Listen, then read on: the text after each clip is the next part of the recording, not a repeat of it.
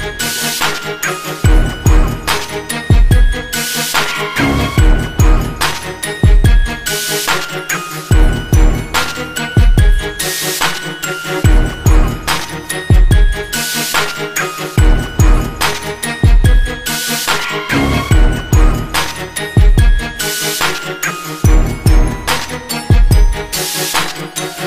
go ahead and say I'm a nice guy. I might be a nasty motherfucker and I might be ready to.